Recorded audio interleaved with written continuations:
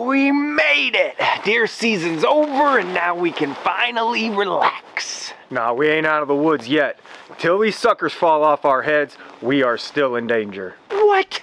You said once deer season was over, we could go back to raiding corn piles. Yeah, the legal hunters are out of the woods, but now you gotta watch out for them night walkers. Night walkers? Like one of them zombie dudes from Game of Thrones? No, these guys are even worse. They carry night vision, and they pretend to be coyote hunters. Oh, damn it, Ted. Now we gotta be careful at night, too. Just stay out of the fields, watch for trucks, and by God, if you see a flashlight. Man, I am sick of this. Punch me in the face, knock these antlers off.